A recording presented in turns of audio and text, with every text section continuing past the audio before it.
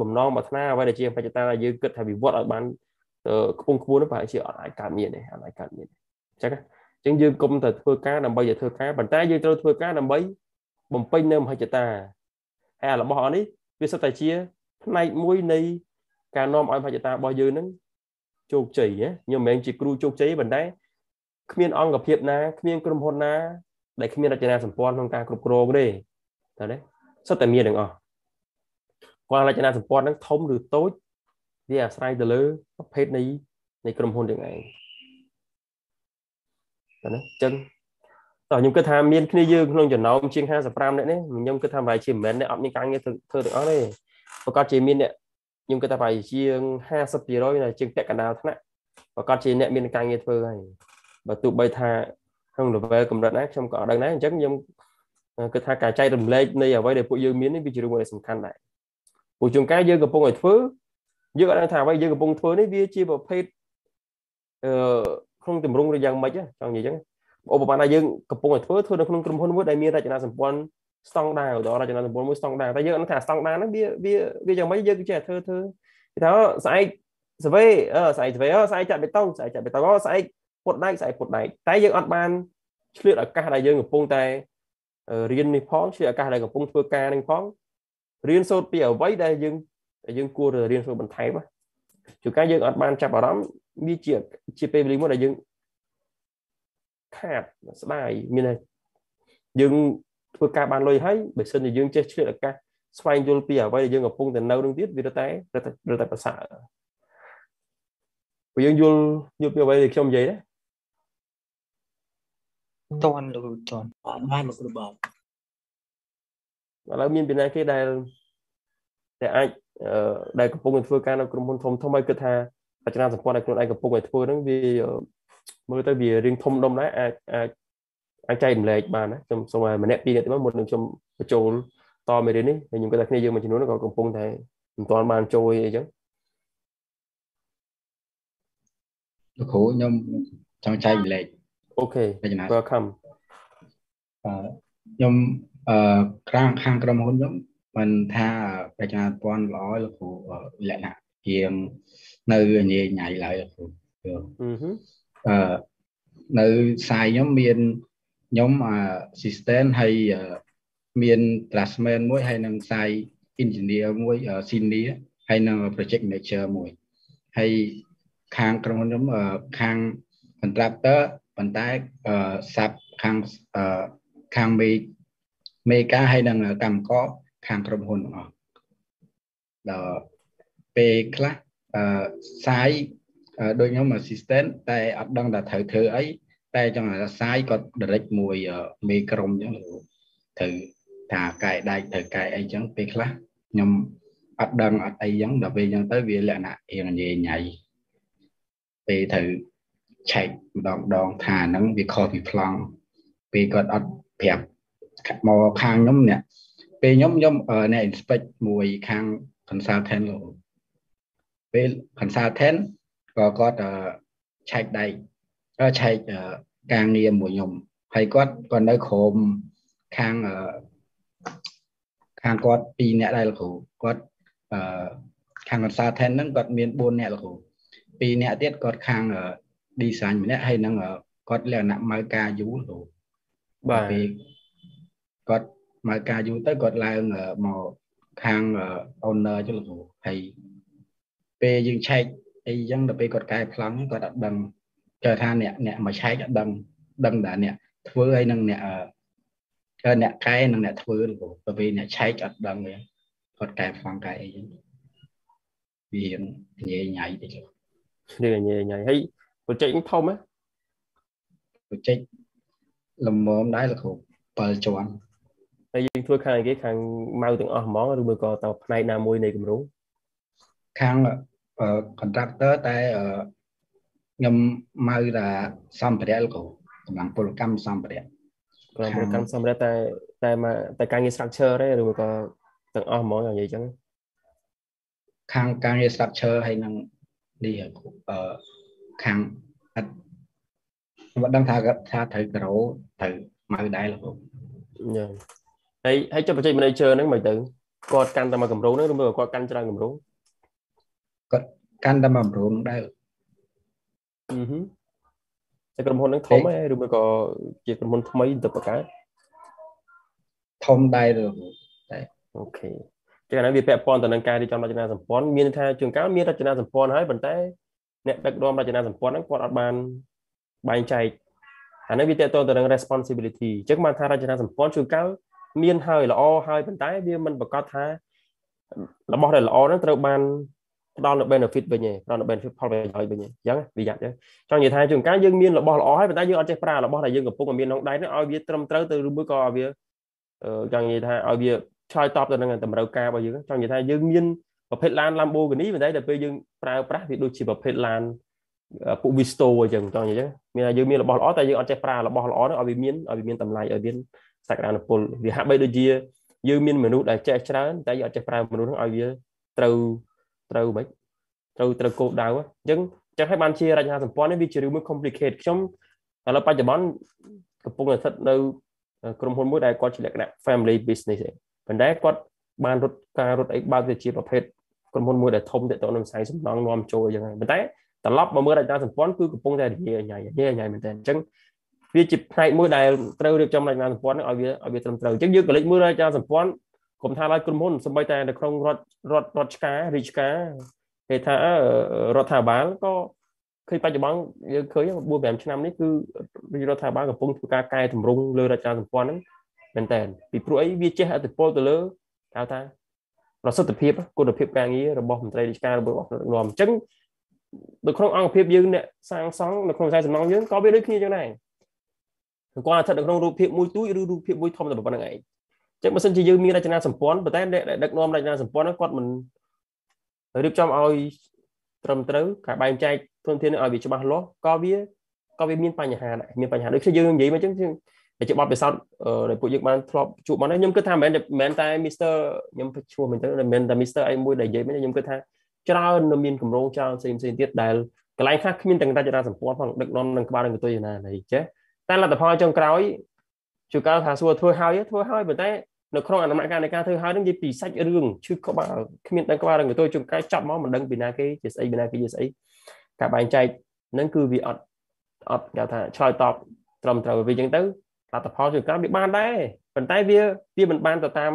បើយើងនិយាយពីស្តង់ដារគឺ0តែម្ដងអញ្ចឹងចឹងអ្វីដែលយើងអ្វីដែលយើងផ្ដល់ឲ្យគឺចង់និយាយថាឲ្យគាត់បាន អញ្ចឹងបើគេចាំបាច់បរៀនទៅអីចាំបាច់ឲ្យពួកយើងចូលសាលាទៅអីតែសួរទៅពួកគាត់បានចូលសាលាពួកគាត់ប្រកាសជាបានចូលសាលាតែដល់ពេលគាត់ចូលសាលាចប់អញ្ចឹងទៅពេលគាត់ធ្វើការវាបែបផ្សេងអញ្ចឹងអញ្ចឹងទោះបីថាមិនដឹងថាវាយ៉ាងម៉េចប៉ុន្តែពួកយើងក៏វាជាចំនួនមួយដែលវាថាអឺដឹងថារចនាសម្ព័ន្ធវាយ៉ាងម៉េចដល់ពេល15ឆ្នាំទៅក្រោយ10ឆ្នាំក្រោយយើងធ្វើការឬក៏យើងចេញរកស៊ីខ្លួនឯងជួនកាលវាមិនមែនมันមានលទ្ធភាពគ្រប់គ្រាន់នៅក្នុងការរៀបចំរចនាសម្ព័ន្ធវាទៅជារឿងមួយផ្សេងអញ្ចឹងរឿងមួយផ្សេងតែយ៉ាងហោចណាស់គឺយើង វាថាយើង try out the best try out the best អូខេអញ្ចឹងនិយាយពីរចនាសម្ព័ន្ធនេះពួកយើងរៀបរាប់មិញហ្នឹងគឺវាមិនខុសទេអ្វីដែលខ្ញុំធ្លាប់ជួបមកហ្នឹងក៏វាជា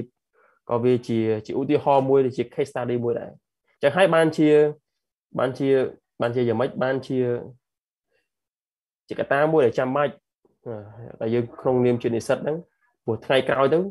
ខ្ញុំគិតថា2ឆ្នាំក្រោយទៀត2ឆ្នាំក្រោយពួកយើងនឹង graduate ដែរ graduate ដែរពេលយើង graduate យើងខ្លាចតែជា engineer ខ្លាចជា staff ជាទុនធានមួយ សម្រាប់អង្គភាពមិនថាជាក្រុមហ៊ុនឯកជនឬមកក៏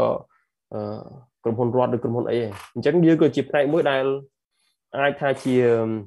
ជាកូនកោសិកាមួយទូចទោះបី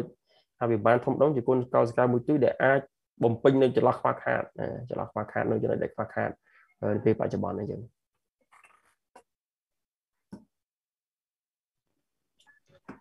លោកគ្រូខ្ញុំសូមនិយាយពីរចនាសម្ព័ន្ធនៅក្នុងក្រុមហ៊ុនខ្ញុំមួយលោកគ្រូ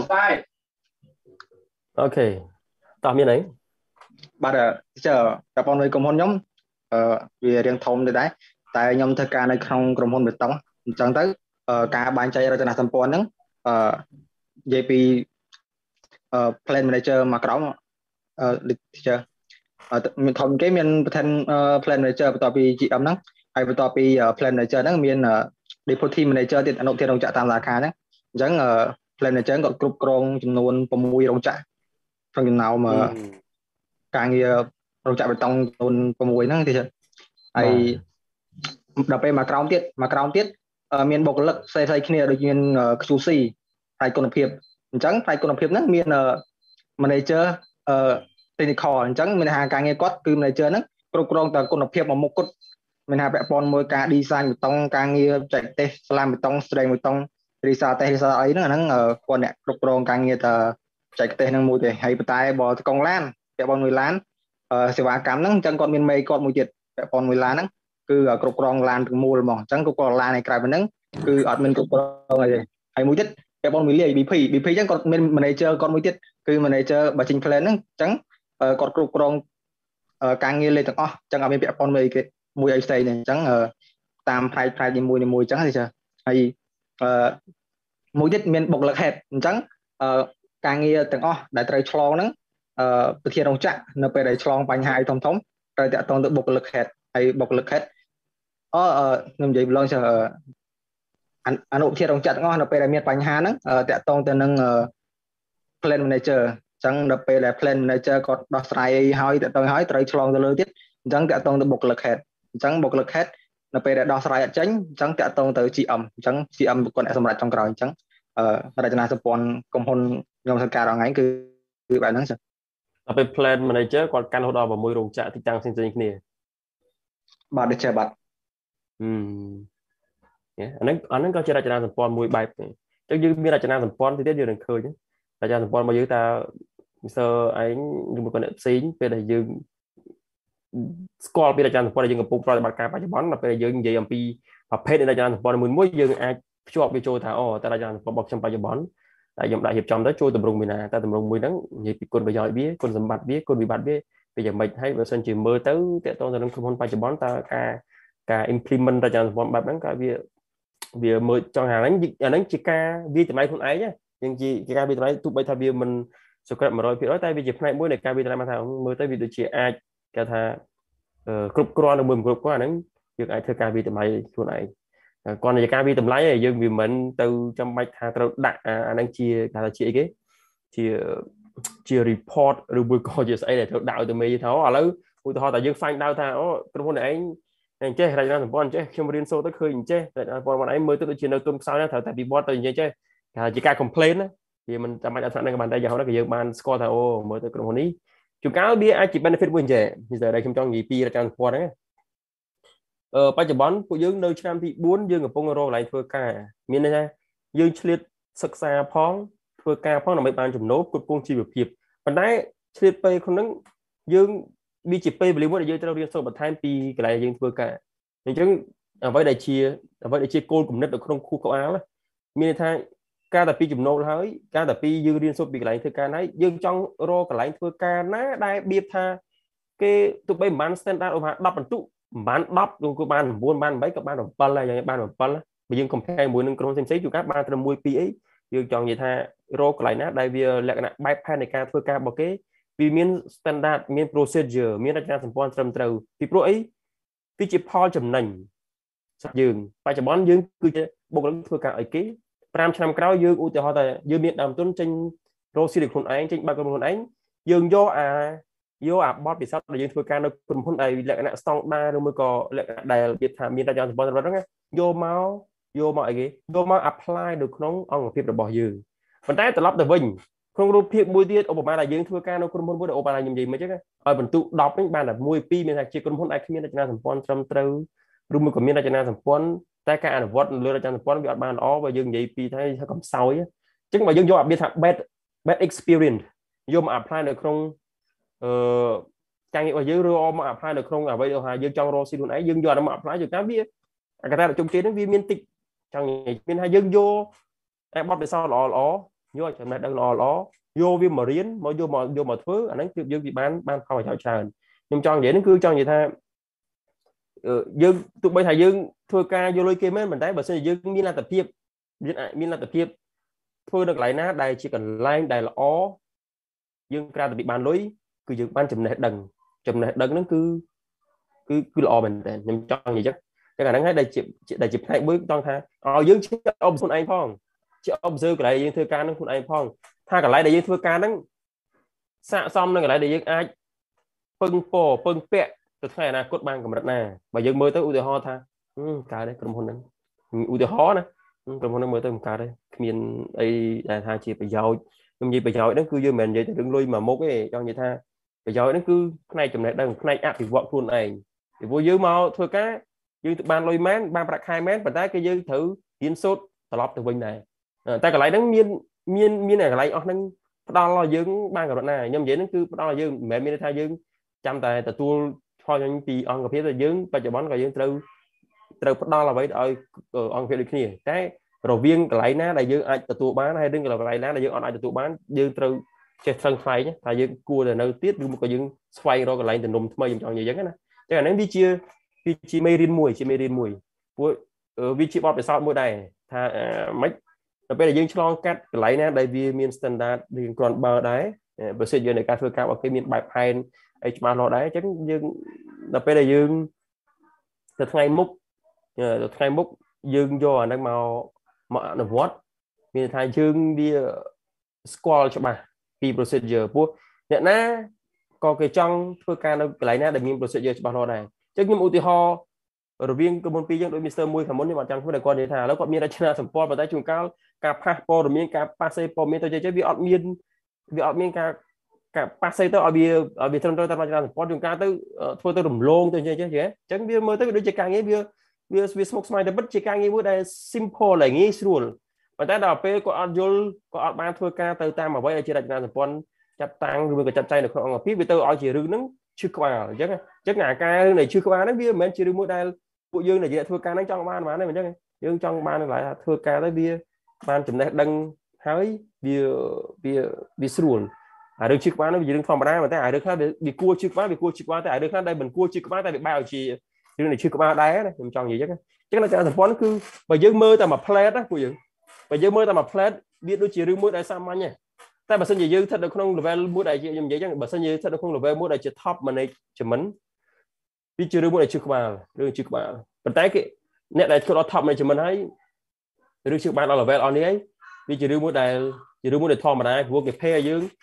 ច្រើនដែរគេ pay យើងច្រើនដែរបើនិយាយយើងអាចឡើងដល់ top management នោះហើយពេលអញ្ចឹងរឿងមួយដែលជិះបានហ្នឹងវាជារឿងមួយដែលវាហៅថា high paid high profit ណា high paid sorry គេគេ high risk high high paid ហ្នឹងព្រោះ high profit មានថាជិះបាល់ក៏ច្រើនលុយចូលហ្នឹងក៏វាគ្រាន់បើដែរចង់និយាយអញ្ចឹងអូខេចឹងខ្ញុំនិយាយរឿងច្រើនតិចដែរហើយប៉ុន្តែវាជារូបភាពមួយដែលឲ្យពួកយើងត្រូវតែយល់ពួកជួនកាលយើងស្ថិតនៅក្នុងដំណាក់កាលមួយដែល កំពុងនៅកណ្ដាលទន្លេកណ្ដាលសមុទ្រយើងកំពុងរកកន្លែងណាដែលធ្វើការបៀបថាមើលទៅវាអឺវាសំគួរដែរអញ្ចឹងណាអូខេអញ្ចឹង organizational structure វាជាស្អីណាវាជាស្អីអញ្ចឹងវាគឺជា hierarchy មានថាម៉េច hierarchy ហ្នឹងវាជាអីគេ that represent the communication and line common ណា to the working group and subordinate group អញ្ចឹងដូច Mr មួយនិយាយថាខ្ញុំនិយាយលោកឧទាហរណ៍មកអញ្ចឹង អញ្ចឹងការងារខ្លះគាត់ត្រូវប៉ាសេមកត្រឹមមេមេបន្ទាប់គាត់ឧបមាថាប្រធានអនុប្រធានហើយនឹងមេក្រុមអញ្ចឹងមេក្រុមពេលគាត់ប៉ាសេព័ត៌មានជួនកាលគាត់ត្រូវប៉ាសេមកយើងដែលជាអនុប្រធានឬមួយក៏អីចឹងទៅជាដែលមានថាជា level លើគាត់មក level អញ្ចឹងណាតែពេលខ្លះអត់ទេគាត់ប៉ាសេទៅរំលងយើងអញ្ចឹងទៅអញ្ចឹងបើអញ្ចឹងគេចាំបាច់បង្កើតរចនាសម្ព័ន្ធធ្វើអីអញ្ចឹងអញ្ចឹងរចនាសម្ព័ន្ធវាគឺជាអីគេលំដាប់នៃនៃការងារអីចឹងឬមួយក៏ដែលបង្ហាញអំពីប្រព័ន្ធនៃការតំណាក់តំណង នៅក្នុងនៅក្នុង group ព្រោះមានមេមានមេរង មានមេក្រុម មានកូនចៅអីតាមតាមតាមតាមដំណាក់ថ្នាក់យ៉ាងទៅអញ្ចឹងការដែលធ្វើការងារក៏គេធ្វើការងារទៅតាមប្រភេទនៃរចនាសម្ព័ន្ធហ្នឹងដែរឧបមាថាគាត់ level គ្រប់គ្រងកម្មករនឹងក្រោមមិនមែនពេលខ្លះគាត់មានការអីភ្លាមគាត់ទៅ direct ពុបនោះទៅដល់មេដបូលលើវាវាវាវាអត់អាចអញ្ចឹងទេវាអត់អាចអញ្ចឹងទេ វាមានលក្ខណៈវាមានលក្ខខណ្ឌគេថា exceptional case ហ្នឹងតិចមែនតើដែលពេលខ្លះគាត់ត្រូវរំលង3 4ដំណាក់កាលដើម្បីដល់មេធំវាមាន exceptional case ហ្នឹងបែបហ្នឹងគឺតិចមែនតើតែបើនិយាយពីគេហៅថាជា proper work ហ្មងជាការងារដែលយើងអនុវត្តដែលត្រឹមត្រូវហ្មងគឺគាត់ត្រូវធ្វើតាធ្វើការងារតាមឋានានុក្រម hierarchy ហ្នឹងដូចពាក្យខ្មែរហៅថាគេឋានានុក្រមអញ្ចឹងអញ្ចឹងពីណាគេដែលនៅលើគាត់គាត់ត្រូវ report ទៅអ្នកដែលលើគាត់ហ្នឹងហើយ អ្នកដែលលើគាត់ហ្នឹងគាត់ត្រូវ report ទៅអ្នកដែលលើគាត់មកតង់អីចឹងទៀតទៅអញ្ចឹងត្រូវធ្វើការ report ឬមួយក៏ communicate ហ្នឹងទៅតាម hierarchy ហ្នឹងឯងទៅតាមឋានានុក្រមហ្នឹងឯងអញ្ចឹងហើយបានជារចនាសម្ព័ន្ធគឺវាមានដើរតួនាទីសំខាន់បែបហ្នឹងអញ្ចឹងបើសិនជាយើងមានរចនាសម្ព័ន្ធហើយតែជួនកាលយើងអត់យករចនាសម្ព័ន្ធមកប្រើប្រាស់វាទៅទៅជាអីគេ miscommunication miscommunication តែកាលណាកើត miscommunication ប្រកាសជាកើតរឿងកើតបញ្ហាប្រកាសជាកើតមានបញ្ហាកើតមានបញ្ហា ហើយការដឹកនាំការងារក៏វា feedback ឲ្យទៅតាមទៅតាមនឹងដែរទៅតាមនឹងដែរគឺ the purpose of ការបង្កើតរចនាសម្ព័ន្ធនៅក្នុងអង្គភាពគឺមិន to make the best use of organization resource to achieve organization goal ទេចឹងអ្វីដែលជាគោលដៅសំខាន់នៅក្នុងការងារនៅក្នុងការបង្កើតរចនាសម្ព័ន្ធគឺស្អីគេគឺស្អីគេមានន័យថាគឺជាការដែលមិនប្រើប្រាស់ធនធាននៅក្នុងរចនាសម្ព័ន្ធហ្នឹងឲ្យវាមានភាពប្រសើរខ្លាំងបំផុតដើម្បីឲ្យ គោលដៅនៅក្នុងអង្គភាពហ្នឹងអាចទទួលបានជោគជ័យទៅបានជោគជ័យមានន័យថាដូចក្នុងយើងមិនទៅឧទាហរណ៍នៅក្នុងរចនាសម្ព័ន្ធបែបលក្ខណៈក្រុមហ៊ុនធំធំឬមួយក៏លក្ខណៈក្រុមហ៊ុនយើងនិយាយតែពី small organization នៅក្នុង project មួយទៅចុះនៅក្នុងការឋានមួយទៅចុះពីព្រោះនៅក្នុង project មួយមួយតែតែមានរចនាសម្ព័ន្ធហើយរចនាសម្ព័ន្ធហ្នឹងបើជើងនិយាយពីការផ្គុំទៅវាអាចមានធំតាមទៅធំទៅតាម project ហ្នឹងទៅអញ្ចឹងយើងនិយាយអំពីថា project មួយ project មួយមាន project manager មាន site manager អមានអ្នកគ្រប់គ្រងខាង technical ខាង QA QS ខាង design ខាងអីគេ admin អីលាក់លាក់អញ្ចឹងទៅអញ្ចឹងអ្នកទាំងអស់ហ្នឹងគឺគាត់ត្រូវមាន responsibility របស់គាត់ហ្នឹងរៀងរៀងខ្លួនពីណាគេធ្វើស្អីពីណាគេទទួលបន្ទុកស្អីអឺពីណាគេមានបញ្ហាអីទៅ report ការងារហ្នឹងទៅពីណាហើយគាត់ផ្នែកទាំងអស់ពេលមានបញ្ហាទៅដោះស្រាយបែបម៉េចបែបបែបម៉េចហើយអ្នកណាគេដែលត្រូវទទួលបន្ទុករួមពីណាគេទទួលបន្ទុកដោយឡែកដោយឡែកអញ្ចឹងអញ្ចឹងអា hierarchy នឹងឯងអារចនាសម្ព័ន្ធក្នុងអង្គភាពនឹងឯង វាគឺជាផ្នែកមួយដែលអាចឲ្យយើងមើលដឹងថាពីណាគេធ្វើអីពីណាគេទទួលបន្ទុកអីដល់ពេលយើងមានការបែងចែកការងារគ្រប់ដំណាក់កាលគ្រប់ផ្នែកទាំងអស់ពេលនឹងហើយដែលជាការអនុវត្តទៅវាមានប្រសិទ្ធភាពឧបមាថាមានបញ្ហាលើរឿងការងារ design ពុបគេមិនមែនទៅរករឿងផ្នែកខាង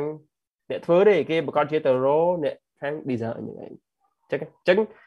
ដល់ពេល យើងស្គាល់ភិនពាកស្គាល់ការទទួលខុសត្រូវជាការអនុវត្តទូនាទីក៏វាក៏វាមានប្រសិទ្ធភាពទៅតាមនឹងដែរគេយើងឲ្យបាន define the role of individual in both formal and informal organization មានរចនាសម្ព័ន្ធហ្នឹងគឺយើងត្រូវបែងចែកទូនាទីដូចខ្ញុំនិយាយអញ្ចឹងថាពីណាគេធ្វើអីពីណាគេទួមទុកអីទាំងកាលណាដែលយើងបែងចែកវាច្បាស់លាស់ឲ្យវាត្រឹមត្រូវទៅនៅពេលដែលយើងមានបញ្ហានៅពេលដែលយើងត្រូវ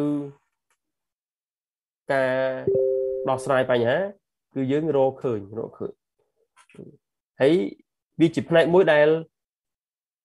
បើពូនៅក្នុងនៅក្នុង project វាជាផ្នែកមួយដែលមិនតកតងទៅនឹង communication គឺសំខាន់ដូចខ្ញុំនិយាយអញ្ចឹងតែកាលណាអត់ apply អត់ implement រចនាសម្ព័ន្ធឲ្យបាន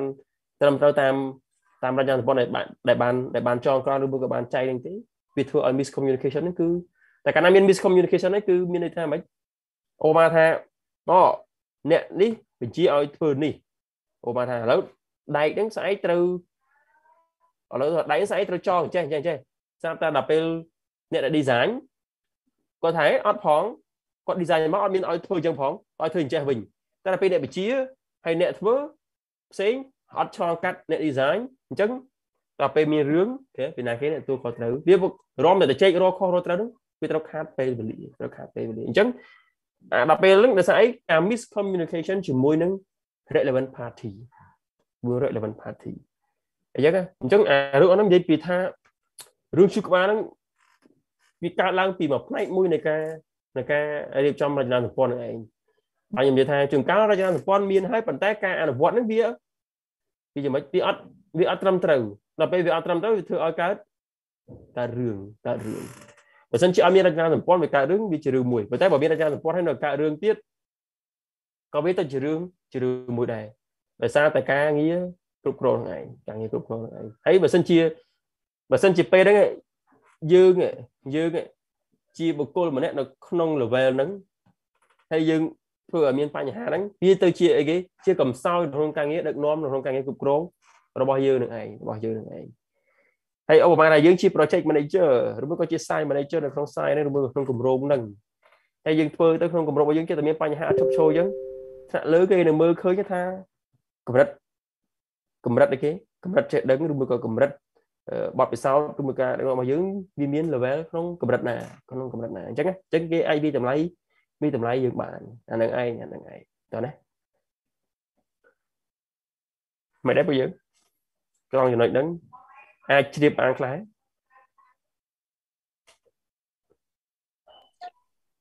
ទាន់បានខ្លះខ្លះលោកគ្រូហើយបើយើងបើយើងសម័យទៅទៅអ្វីដែលយើងកំពុងតែធ្វើគឺបច្ចុប្បន្នតើវាមានកន្លែងណាដែលយើងមើលឃើញថាកន្លែងយើងមានកំសោយឬមួយក៏មិនទាន់មានកំសោយអីបានខ្លះព្រោះអារឿងនេះវាដូចនិយាយហ្នឹងបើថាយើងស្ថិតនៅក្នុង low level ឬមួយក៏ low west level ទេវាជារឿងមួយដែលធម្មតាដែរតែចង់មិនចង់ ប្រកាសជាយើងប៉ះហើយរឿងហ្នឹងប្រកាសជាយើងប៉ះខ្ញុំគិតថា50នាក់ខ្ញុំគិតថាมันអាចថា10ឆ្នាំក្រោយ50នាក់នៅតែគេថាជាគេថាម៉េចជាការ engineer រហូតទេខ្ញុំគិតថាអញ្ចឹងខ្ញុំមានគំនិតបែបហ្នឹងខ្ញុំគិតថា52នាក់របស់យើង10ឆ្នាំក្រោយប្រកាសជាយ៉ាងហោចណាស់ក៏20%នៃចំណោមពួកយើងខ្លាយទៅជាមេថា level មេឬមួយក៏ខ្លាយទៅជា own business owner អីនៅពេលដែលយើងចូលដល់ level មេហើយឬមួយក៏ business owner ហើយ អានេះគឺជារសើបហើយតែបើថាយើងនៅនៅតែជាការ engineer ទៅតាមការឋានទេវាអត់មានរសើបទេអត់មានរសើបទេព្រោះមិនជាយើងទៅជួយគាត់ទេយល់ទេ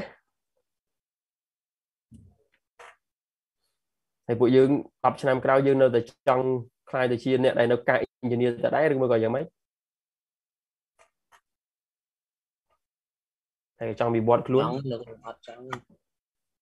ចង់នៅតែការ engineer ចង់នៅកាន់ម៉ាស៊ីនតូពូមួយក៏នៅកាន់ម៉ែត្រឬក៏កាន់អី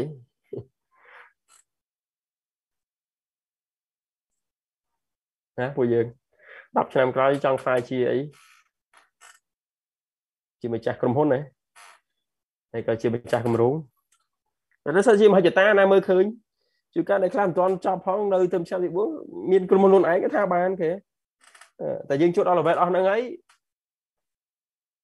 ត្រូវតែត្រូវតែប៉ះហើយត្រូវតែប៉ះហើយ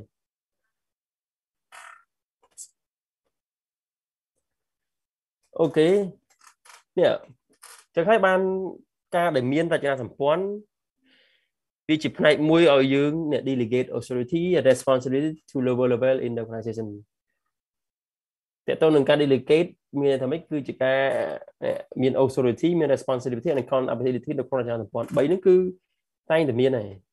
វាជាការគេផ្ទេរនៅអំណាចទូនាទីការទទួលខុសត្រូវអីហ្នឹងទៅកាន់បើយើងបើនិយាយភាសានៅក្នុងរាជការគេទៅកាន់ថ្នាក់ក្រោមជាតិអីចឹងមានន័យថារីរដ្ឋាភិបាលព្យាយាមព្យាយាមអីព្យាយាមផ្ដល់សិទ្ធិទូនាទីអំណាចទៅកាន់ថ្នាក់ក្រោមជាតិហ្នឹងទៅកាន់តែគេទៅកាន់ថ្នាក់ខេត្តថ្នាក់ស្រុកថ្នាក់ឃុំថ្នាក់ភូមិកុំឲ្យសិទ្ធិនៃការសម្រេចហ្នឹងស្ថិតទៅលើថ្នាក់លើច្រើនពេកប្រភេទនៃការងារមួយចំនួនត្រឹមភូមិត្រឹមឃុំឲ្យសម្រេចបានគាត់សម្រេចភឹងភឹង ដើម្បីកាត់បន្ថយនៅកាត់បន្ថយនៅអីគេកាត់បន្ថយនៅពេលវេលាឥឡូវឧបមាថារឿងត្រឹមតែប្រជាជនឆ្លោះគ្នាត្រូវឲ្យឆ្លងកាត់រហូតមកដល់រដ្ឋមន្ត្រីហើយទៅរដ្ឋទៅឆ្លងកាត់មកដល់លើចំណាយពេលប្រហែលជួនកាលកន្លះខែអីតឯកសារតមកដល់ក្រសួងលើនៅផងអញ្ចឹងតែបើសិនជាដោះស្រាយត្រឹមតែភូមិឃុំជួនកាលមួយថ្ងៃពីរថ្ងៃដោះស្រាយចាប់បាត់អញ្ចឹងអញ្ចឹងអាហ្នឹងវាជាប្រសិទ្ធភាពនៃការអនុវត្តការងារអញ្ចឹង មិនថាក្រុមហ៊ុនមិនថាអង្គភាពមិនថាក្រសួងមិនថាស្ថាប័នណាទេការរៀបចំអាជ្ញាសម្ព័ន្ធនឹងគឺជាការ delegate authority responsibility នឹងឯងមានន័យថាគឺជាការបែងចែកសិទ្ធិការទទួលខុសត្រូវនឹងទៅតាមទៅតាមអីគេទៅតាមមេធៀងទៅតាម level ទៅតាមទូនាទីទៅតាមអង្គភាពទៅតាមឋានានុក្រមនីមួយនីមួយទៅតាមឋានានុក្រមនីមួយនីមួយតើ authority ហ្នឹងគឺស្អីគេសិទ្ធិអំណាចហ្នឹងសិទ្ធិអំណាចហ្នឹងតែអ្នកណាគេទទួលបានសិទ្ធិអំណាចមានដាវអាញាសឹកហ្នឹងកម្រិតណាកម្រិតណាវាមិនអាចម្នាក់ទទួលទូលភ្នំទទួលភ្នំគ្រប់គ្រប់រឿងទេគ្រប់រឿងទេវាអាចទទួលទូលភ្នំតាមមួយផ្នែកណាមួយនៃមួយរឿងណាមួយអញ្ចឹងទៅតែបើសិនជាគាត់អូបានអញ្ចឹងខ្ញុំសួរថាតាមបច្ចេក manager ហ្នឹងគាត់កាន់តាមបច្ចេកហ្នឹងឬមួយគាត់កាន់4 5 6បច្ចេក ចឹងរវាង budget manager ដែលគាត់កាន់មក budget បើគាត់ជាបាន salary របស់គាត់ប៉ុណ្ណេះទៅបើសិនជា budget manager គាត់កាន់រហូតដល់6 7 budget គាត់ salary របស់គាត់បានអាចស្មើនឹងអ្នកកាន់មក budget ទេយល់ចឹងពួកយើងប្រកាសជាគាត់គេថាបាន income បែបផ្សេងហើយបែបផ្សេងព្រោះគាត់ត្រូវជឿគាត់ត្រូវមាន risk គាត់ទៅចាយកម្លាំងធម្មពលខួរក្បាលរបស់គាត់ហ្នឹងច្រើនលើសហ្នឹងចឹងចឹងការបែងចែកសិទ្ធិអំណាចនេះគឺ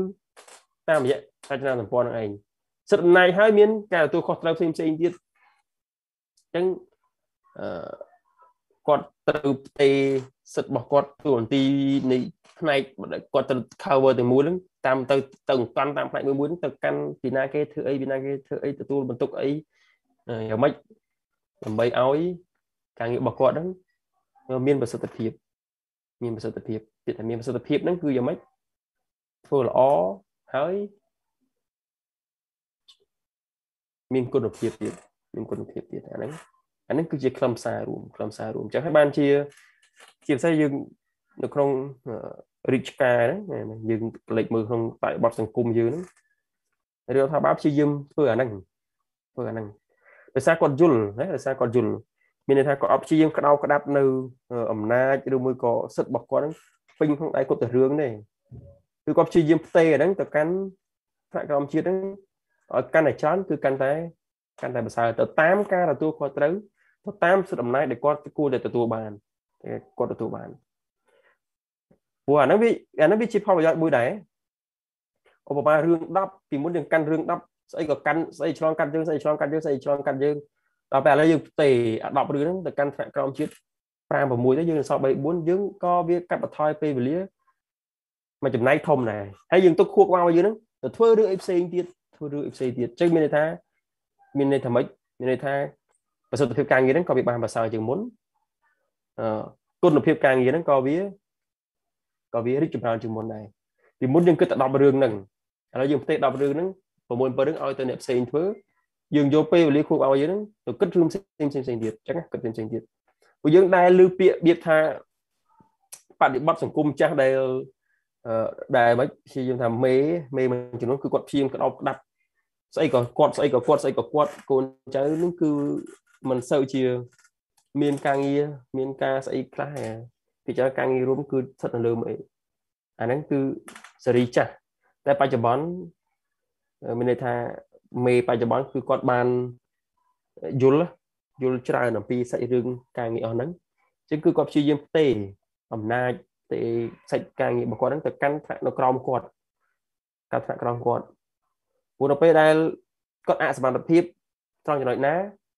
អង្គភាពរបស់គាត់ហ្នឹងនៅតែមិនងាយក្នុងការរលំទេមិនងាយក្នុងការរាំងស្ទះទេអាហ្នឹងអាហ្នឹងអាហ្នឹងអាហ្នឹងជាជាគុណប្រយោជន៍ជាគុណប្រយោជន៍ដែលដែលគេមើលឃើញត្រឡប់មកវិញឧបមាថាស្អីស្អីក៏គាត់ស្អីក៏គាត់ឧបមាដល់ពេលណាមួយគាត់ឈឺ ឬមួយគាត់គ្រុនឬមួយគាត់ដល់ថ្នាក់វះកាត់គាត់ត្រូវទៅសម្រាប់ព្យាបាលរាប់ខែអីចឹងទៅអញ្ចឹងមិនទៅមិនទៅការងារនេះវាយ៉ាងម៉េចយើងអាចសម័យមើលវាមិនត្រូវរាំងស្ទះតែកំណត់ចាស់កម្រិលវាអត់អញ្ចឹងទេកំណត់ចាស់កម្រិលគឺគាត់អត់ទេគឺគាត់ថាព្យាយាមធ្វើម៉េចក្តោបក្តោបតែខ្លួនគាត់ដើម្បីឲ្យគេមើលឃើញថាគាត់ខ្លាំងគាត់ខ្លាំងអត់តែពីគាត់ទៅការងារអត់មានវិធីគេធ្វើបាន ពួកយើងដែលដែលដែលឃើញរូបភាពបែបហ្នឹងដែលឃើញមេបែបហ្នឹង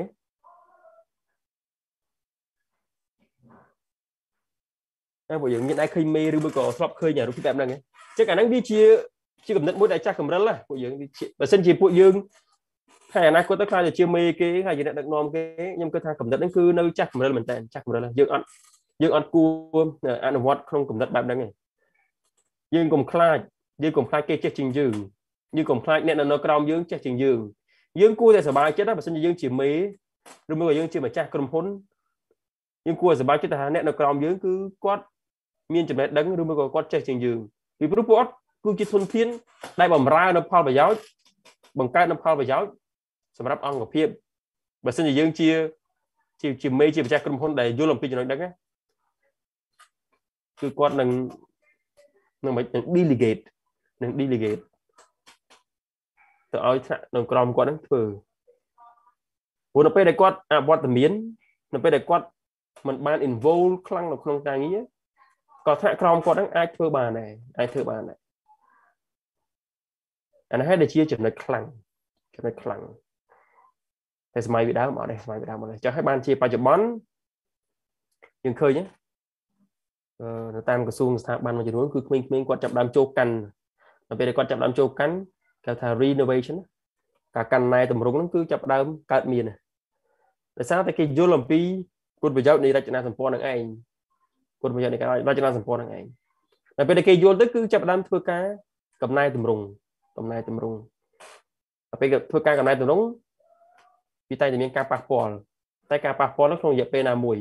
តែអត្ថប្រយោជន៍វានឹងបានប្រយោជន៍ច្រើនជាងការប៉ះពាល់ហើយបើគេសុខចិត្ត invest សុខចិត្ត invest តោះនេះពួកយើងតោះនេះចំណុចនេះគឺចំណុចដែលក្រៅគុកមួយដែរបើសិនជាពួកយើងនៅក្នុងវិស័យរាជការតាមក្រសួងសាធារណចំនួនផងគឺចំណុចមួយដែលក្រៅគុកមែនតើបើសិនសិតខ្ញុំនិយាយបើសិននិយាយតកតងនឹងបាក់ផងយើងឃើញបាក់កាន់អំណាចបាក់ផ្សេងផ្សេងផងគឺរត់តែក្រៅគុកទៀតដោយសារតែគេព្យាយាមធ្វើម៉េចឲ្យរចនាសម្ព័ន្ធនៅក្នុងអង្គភាពរបស់គេហ្នឹង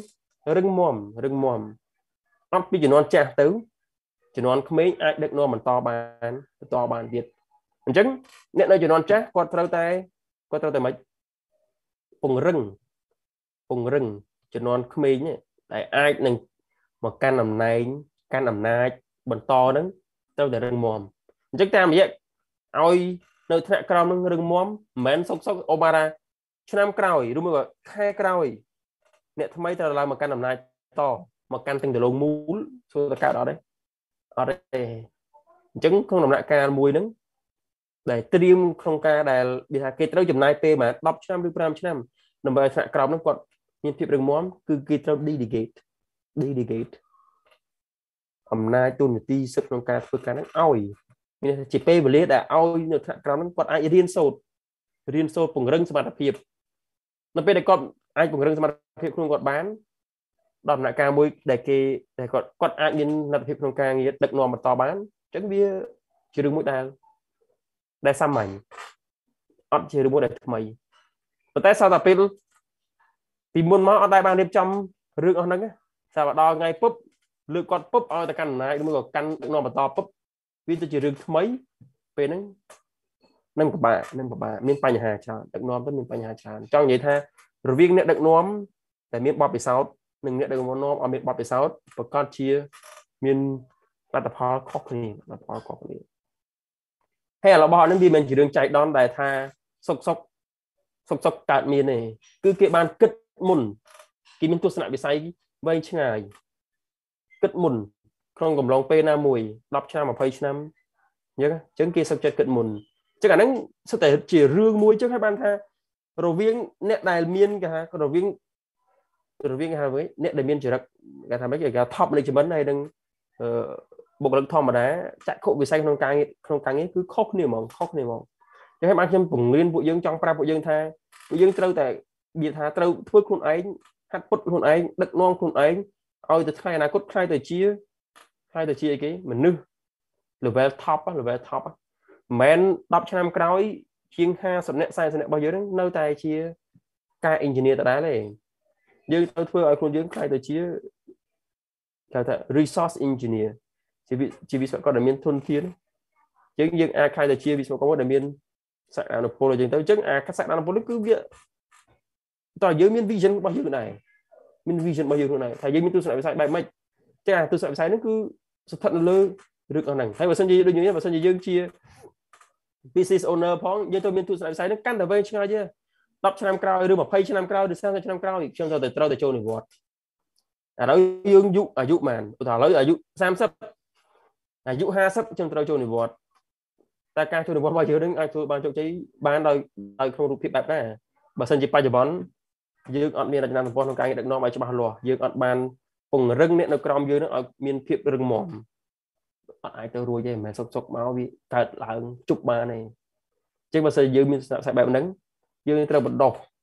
ធនធាន ដែលជាធនធាននៅរបស់យើងនៅក្នុងអង្គភាពរបស់យើងឲ្យគាត់មានភាពរឹងមាំ ឲ្យគាត់មានភាពរឹងមាំនៅពេលអត់យើងទៅគាត់ដឹកនាំបន្តពេលហ្នឹងគឺយើងមានពេលវេលាក្នុងការជួននិវត្តបានចង់និយាយចឹងចឹងអាកំណត់បែបហ្នឹងចឹងឲ្យបានជានៅក្នុងប្រទេសដែលគេអភិវឌ្ឍប្រទេសដែលគេជឿនលឿនគឺគេធ្វើបែបហ្នឹងគេធ្វើបែបហ្នឹងតែដល់ពេលត្រឡប់មកយើងមកលើកនៅក្នុងសង្គមរបស់យើងវិញផងវាវាអាអ្នកដែលធ្វើក្នុងរូបបែបហ្នឹងគឺតិចមែនតើដូចខ្ញុំនិយាយពីខាងដើមចឹងគឺខ្លាចខ្លាចគេចេះជាង ខ្លាចគេចេះជាងអញ្ចឹងសុំចិត្តបៀមទុកខ្លួនឯងបៀមខ្លួនឯងចេះតែខ្លួនឯងអញ្ចឹងដល់ពេលថ្ងៃក្រោយយើងមិនអមតៈណាអត់ពីយើងទៅអត់មានពេលណាគេធ្វើបានអាហ្នឹងគឺជាកំណត់មួយគេថាអស្មិចង់និយាយថាជាកំណត់មួយដែលមិនមិនមែនជាកំណត់មួយដែលរីកចម្រើនឬជឿនជឿនលឿនទេហើយកំណត់ហ្នឹងសម្រាប់ខ្ញុំមកគឺខ្ញុំអត់អត់ recommend អត់លើកទឹកចិត្តឲ្យឲ្យឲ្យធ្វើឲ្យធ្វើបែបហ្នឹងតែខ្ញុំសុខចិត្តលើកទឹកចិត្តឲ្យ បង្រៀនបណ្ដោះបណ្ដាលបណ្ដោះបណ្ដាលតាំងឲ្យតែធ្វើទៅបានព្រោះនៅពេលដែលធនធានយើងរីកចម្រើន នៅពេលដែលធនធានរបស់យើងគាត់មានលទ្ធភាពគ្រប់គ្រាន់ក្នុងការអនុវត្តការងារទោះបីថាគាត់មិនបានជួយយើងក៏គាត់បានជួយក្រុមគ្រួសារគាត់ក៏អាចជាផ្នែកមួយជួយសង្គមយើងអញ្ចឹងតតតទៅបើថាមិនបានប្រយោជន៍សម្រាប់ជំនាន់យើងជួនកាលក៏អាចមានប្រយោជន៍សម្រាប់ជំនាន់កូនយើងចៅយើងឃើញអាហ្នឹងអាហ្នឹងអញ្ចឹងបើសិនជា អ្នកគ្រប់គ្នាមានទស្សនវិស័យមានហៅថាអេរយាប័តឬមួយក៏បែបផែននៃនៃចរិតមាយាទក្នុងការងារធ្វើការធ្វើការងារបែបហ្នឹងខ្ញុំគិតថាសង្គមយើងប្រហែលជាមិនមិនជូរ10ឆ្នាំ20ឆ្នាំក្រោយប្រកាសជាមានការប្រែក្នុងទម្រង់មួយដែលដែលរីកចម្រើនជានឹងតទៅទៀតជានឹងតទៅទៀតយ៉ាងហ្នឹងចំណុចចំណុចហ្នឹងដែលតកតងទៅនឹងអីគេការ delegate authority and responsibility to lower level ហ្នឹងឯងចឹងព្រោះការដែល ការដែលអីគេការដែលបែងចែកការដែលផ្ទេរនៅចំណេះដឹងឬមួយក៏ចំណេះធ្វើពីខ្លួនយើងទៅកាន់អ្នកដទៃហ្នឹងវាមិនជារឿងមួយដែលដែលងាយទេឥឡូវមានមនុស្សប្រហែលនេះដែលចំណាយពេលបង្រៀនយើងបណ្ដុះបណ្ដាយើងឲ្យយើងចេះឲ្យយើងរឹងមាំវាអត់សូវមានច្រើនទេអញ្ចឹងតែបើសិនជាមានច្រើនយើងគួរតែសាបតោបែបហ្នឹងឯងព្រោះយើងយល់យល់ពីគំនិតដែលខ្ញុំចង់និយាយត្រង់ចំណុចហ្នឹង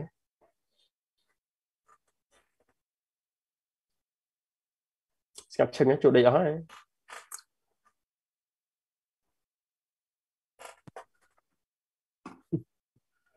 លក់ហើយតាមអូខេហ្នឹងហើយអញ្ចឹងសារៈសំខាន់នៅក្នុងកម្មការចលសម្ព័ន្ធនៅក្នុងអង្គភាពគឺយ៉ាងម៉េចគឺយ៉ាងម៉េច why the development of organization structure is so important ហេតុអីឲ្យវាមានសារៈសំខាន់ហេតុអីវាមានសារៈសំខាន់ដោយសារអី ខ្ញុំលើកនេះគឺគាត់តែជាផ្នែកមួយនៅក្នុងការងារសាងសង់របស់យើងទេណាតែអ្វីដែលខ្ញុំនិយាយពីអត្ថប្រយោជន៍គឺការវាវាមិនតែ apply តែនៅក្នុងការងារសាងសង់ទេនៅក្នុងវិស័យណានៅក្នុងវិស័យណាក៏វាមានក៏វាមិនសូវជាខុសគ្នាមកដែរណាក៏វាមិនសូវជាខុសគ្នាមកដែរប៉ុន្តែនៅក្នុងវិស័យការងារសាងសង់យើងមើលណាហេតុអីដោយសារនៅក្នុងការងារសាងសង់វាមានដំណាក់កាលច្រើនវាមាន process ច្រើនហើយដំណាក់កាលនីមួយៗ process នីមួយៗ បើសិនជាការតំណែងនោះវាវាវាវាវាវាមិនបានល្អប្រសើរទេ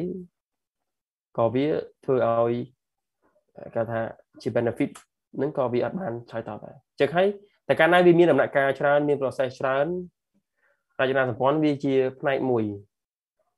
ដែលមានអតិពលឥឡូវខ្ញុំឧទាហរណ៍ហេតុអីបានថាអញ្ចឹងហេតុអីបានគេចាំបាច់មានរចនាសម្ព័ន្ធអញ្ចឹង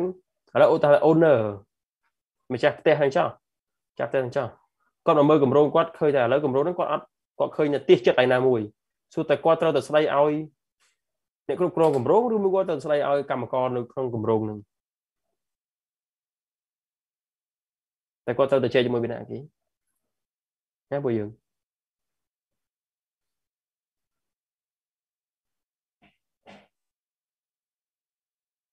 ណាសរិនឌីឈុនសរិនឌី មកហើយមកទៅចាំជួយ check វត្តមានខ្ញុំផងណាមកហើយមកទៅទៅណាហើយមកទៅ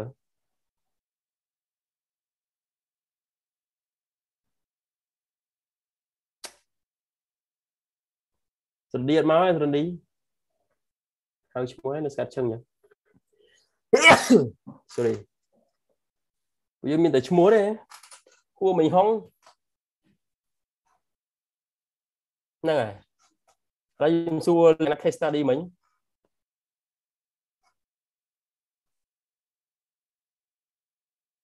ណាឥឡូវខ្ញុំនិយាយថាឥឡូវម្ចាស់គម្រោងម្ចាស់ផ្ទះគាត់មកមើលគម្រោងហើយគាត់មើលទៅគាត់អត់ពេញចិត្តកន្លែងណាកន្លែងណាមួយបាទឥឡូវគាត់មើលទៅឃើញតែសហ្នឹងវារៀងវាចឬមួយក៏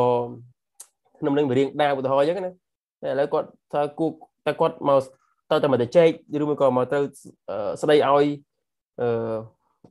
ស្ដីឲ្យគេអ្នកគ្រប់គ្រងគម្រោងឬមួយស្ដីឲ្យកម្មករ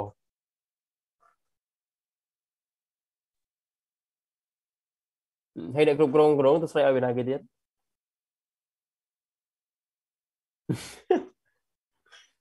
ហ្នឹងហើយអាហ្នឹងហើយដែលជាដែលជារូបភាពមួយដែលបង្ហាញអំពីរចនាសម្ព័ន្ធហ្នឹងឯងទៅសួរថាម្ចាស់គម្រោងគាត់ទៅស្លេកឲ្យកម្មករបានអត់ បើគាត់ឃើញយើងគាត់ទៅស្លេកឲ្យកម្មករកើតអត់បានអត់ហើយកម្មករដាក់មកនេះបាយថៃបានគាត់មានសិទ្ធអត់គាត់ម្ចាស់ផ្ទះគាត់ស្លេកកម្មករថៃបាន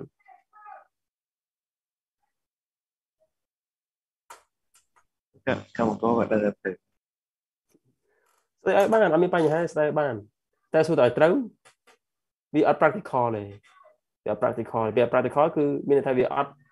តាមអ្វីដែលជាបែបផែនក្នុងការងារអនុវត្តទេអញ្ចឹងទូនទីរបស់គាត់បើយើងនិយាយពីរចនាសម្ព័ន្ធមួយចំនួនមានតែ owner នៅពីលើ project manager នឹងទៀតអញ្ចឹងពីណា project manager ឬ consultant បើសិនជា project នឹងមាន consultant ទៀតអញ្ចឹងគាត់អត់មានចាំបាច់មកដល់មក project manager គាត់ធ្វើការជាមួយនឹង consultant បើសិនជា consultant ហ្នឹងគឺជាជាអ្នកដែល owner ហ្នឹង hire មកជា owner ហ្នឹងជួលមកក្នុងការងារគ្រប់គ្រងហ្នឹងអញ្ចឹងគាត់ទៅមានការគាត់ទៅជែកមួយ consultant ហើយ consultant គាត់ទៅជែកជាមួយនឹង project manager តតទៀត project manager គាត់ទៅជែកជាមួយនឹង site manager របស់គាត់ឬមួយក៏ពីណាគេដែលគ្រប់គ្រងការងារគាត់ការងារតតទៀតទៅតាមរចនាសម្ព័ន្ធហ្នឹងបើសិនជាគាត់បើសិនជា owner គាត់ direct ពុបទៅដល់រឿងឲ្យកម្មករសូកម្មករគាត់ដឹងអីទោះបីគាត់ដឹងក៏គាត់អត់មានអីដែលត្រូវ feedback ឲ្យគាត់បានដែរណាអញ្ចឹងទៅតាមរចនាសម្ព័ន្ធគឺគាត់ត្រូវទៅរកពីណាគេដែលនៅក្រោមគាត់ហ្នឹងឯងអញ្ចឹងអញ្ចឹងអាហ្នឹងអាហ្នឹងហើយដែលជា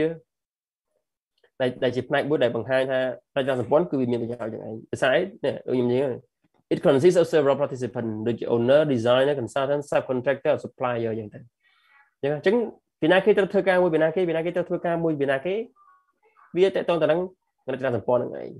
ការបែងចែករចនាសម្ព័ន្ធហ្នឹងឯងតែកន្លែងខ្លះវាអត់មានតែខ្លះមានបានបែងចែកឲ្យច្បាស់លាស់ត្រឹមត្រូវ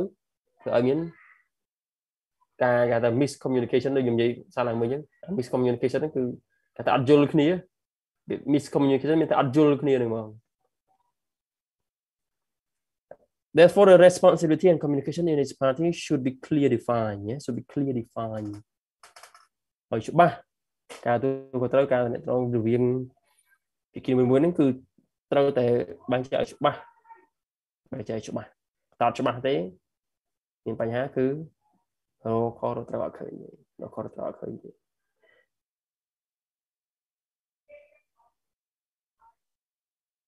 តន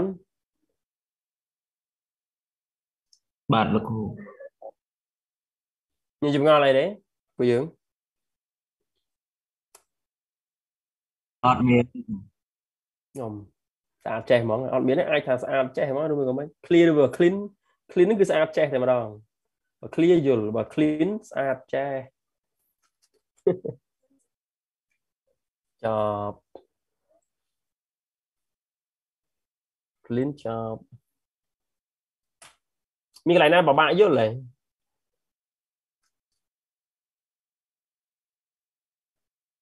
អូខេយើងមានកន្លែងណាពិបាកយល់ទេ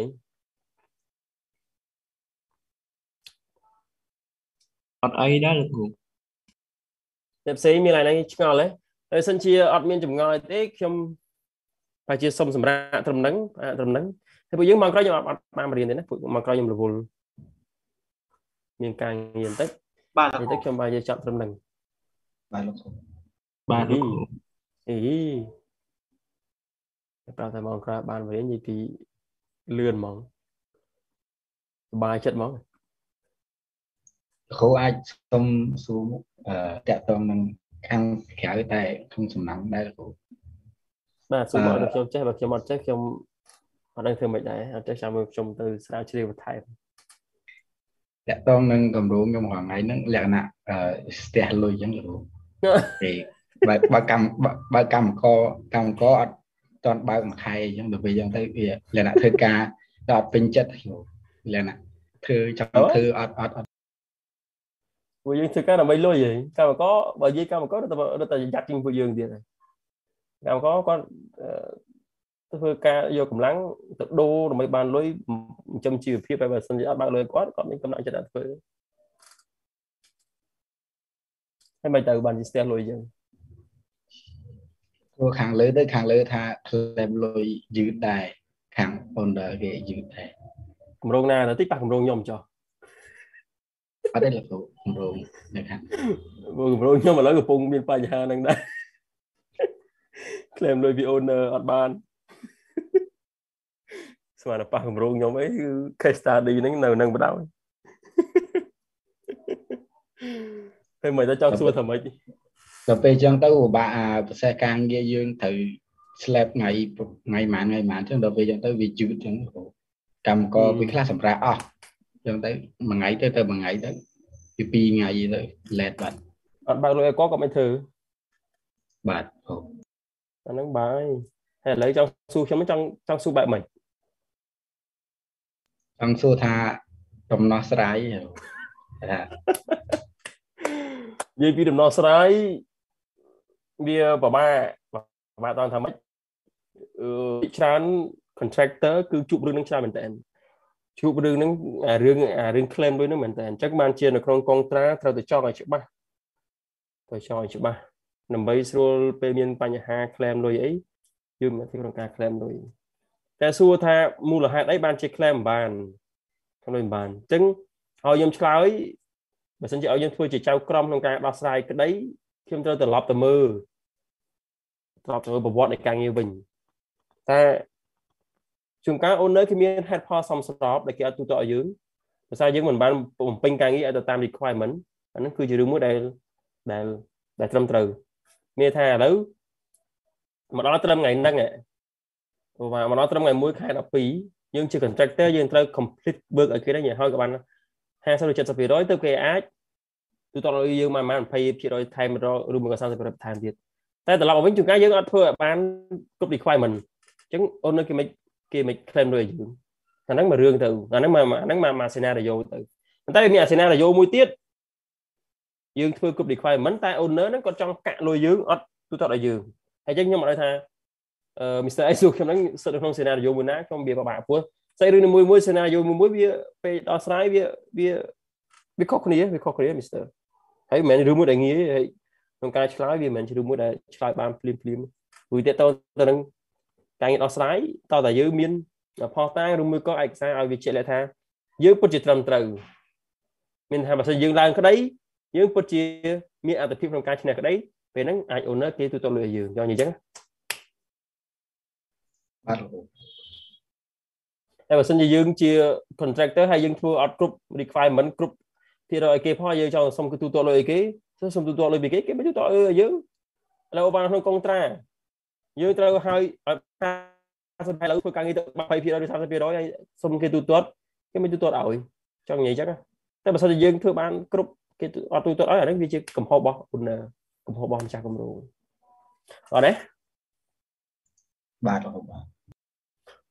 អូខេអញ្ចឹងមកមានសំណួរទេពួកយើងអាចសម្រាប់បានណា holiday weekend បាទលោកគ្រូជម្រាបលាលោកគ្រូហ្នឹងហើយម៉ោងថ្ងៃម៉ោងថ្ងៃពួកយើងសម្រាប់